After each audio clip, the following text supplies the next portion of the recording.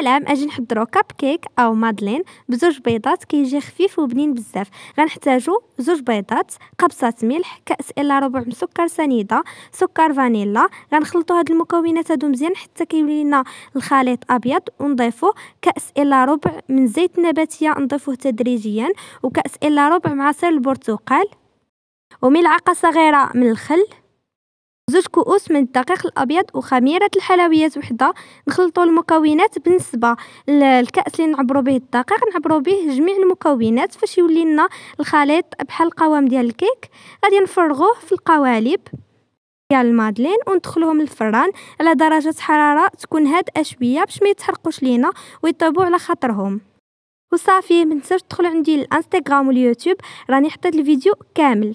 وبصحة وراحة وإلا بغيتو شي وصفة نحضرها لكم كتبوها ليا في لي كومونتير. بسلامة!